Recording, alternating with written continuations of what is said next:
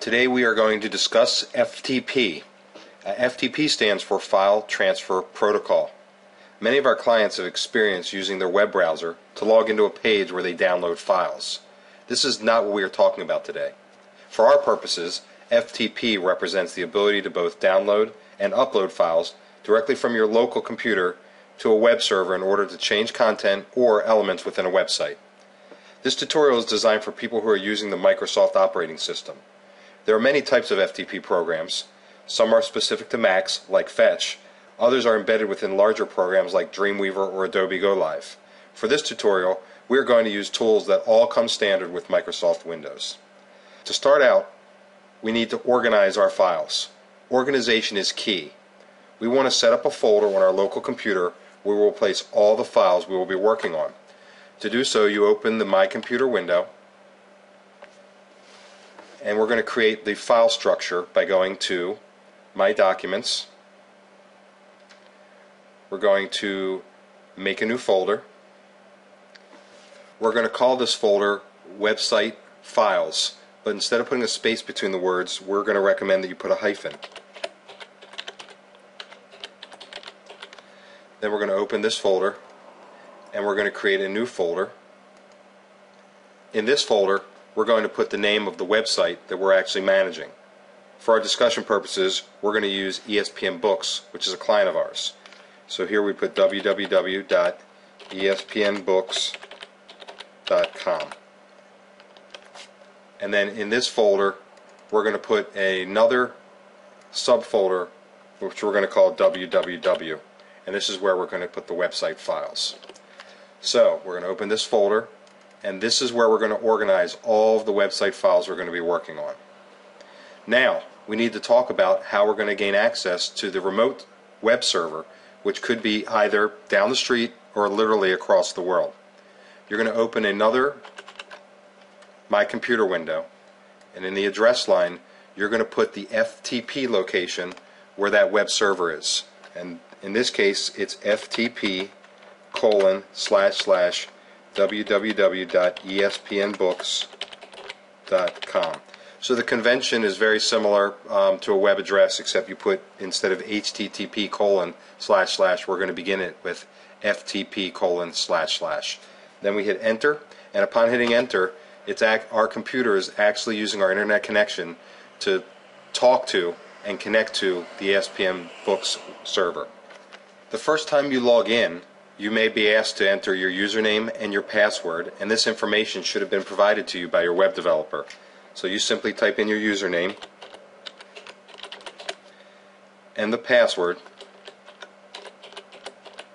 You can click on the Save Password checkbox, and then when you click Log On, it will connect to the server, and you will not be prompted for username and password again.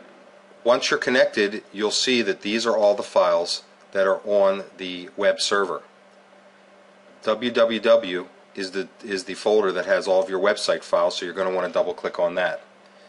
And this is where you're going to find a majority of the web files that you're going to be working on in reference to your website. To determine which files need to be changed, you would go to your web browser and find the page that you actually want to modify. A shortcut would be to go to this location bar here.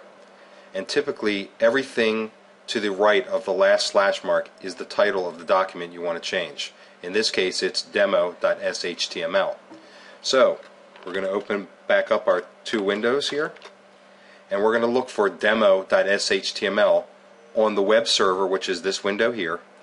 And if you scroll down, you will see that your file names are in alphabetical order. So we're looking for demo, and there it is. And we need to get this file from the web server over to our local server so that we can manipulate and change it and then we can send it back.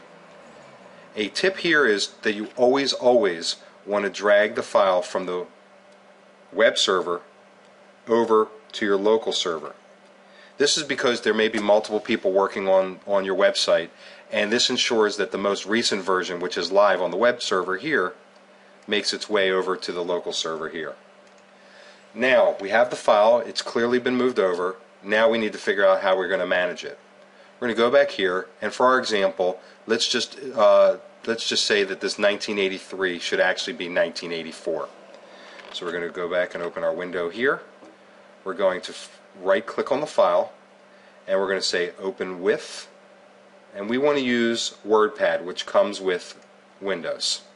We could search this entire document looking for 1983, or we can go up to the, the Edit, Find, and we can put 1983 in the tool, and then hit Find Next, and then you can see that the dot, that it takes you right to that area.